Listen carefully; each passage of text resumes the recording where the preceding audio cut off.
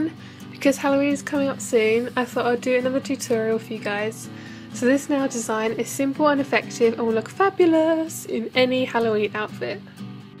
For this design you will need a white polish, red, light blue, black and clear. To start off you will need to paint all your nails a solid white colour. I had to paint mine with two coats to get a more stronger colour. Next, using your dotting tool or the end of a paintbrush, dot a small circle on the middle of your finger for the eye.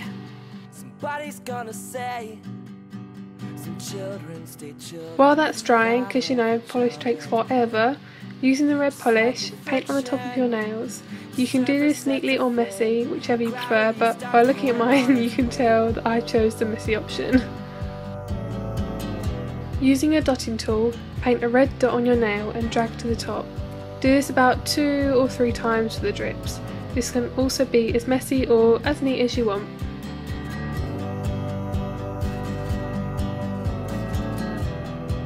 Going back to the other nail, paint a black dot in the middle of the blue.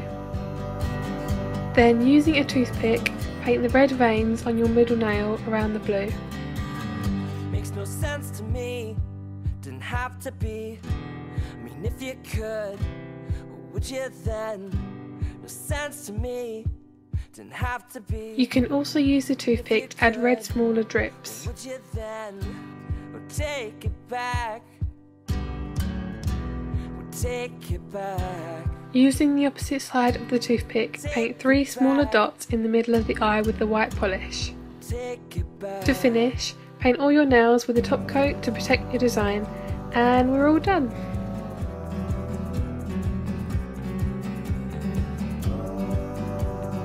Thank you so much for watching and I'll see you in my next video. Bye guys!